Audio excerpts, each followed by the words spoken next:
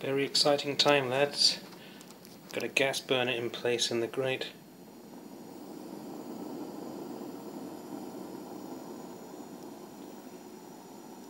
Can't run it for long because the boiler's dry.